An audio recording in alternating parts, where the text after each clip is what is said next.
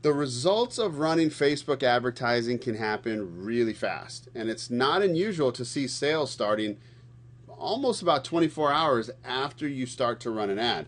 As a small business owner, you can use Facebook to your advantage. And in this video, we're going to talk about three ways to drive traffic, local traffic, really fast using Facebook.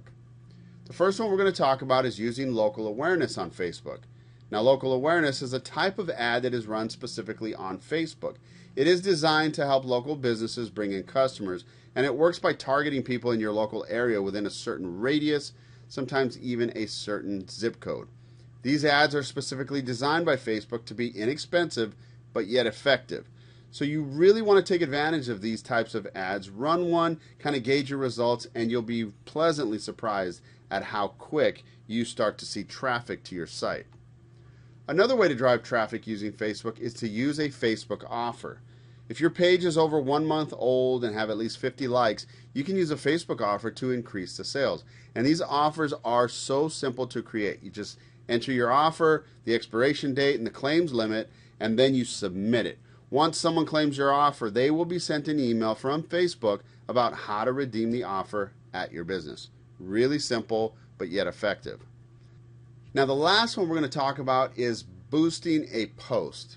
As a small business owner, page boosts are perfect for you. If you've got a massive audience, over 2,000 fans, then it's probably not. But then again, if you use it the way we show you how, it could be very good for any size business. Now, a boosted post is extremely inexpensive. It can cost you as little as $20, and you could potentially reach hundreds or thousands of people with that money. A really good return on investment.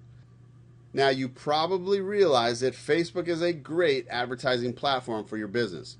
Now, small and local businesses have the chance to increase their audience with just a small budget. But if you're not using Facebook advertising in your business, we want to help.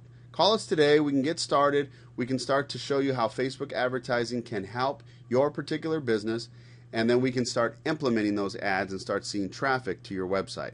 Thanks for watching this video. We look forward to hearing from you.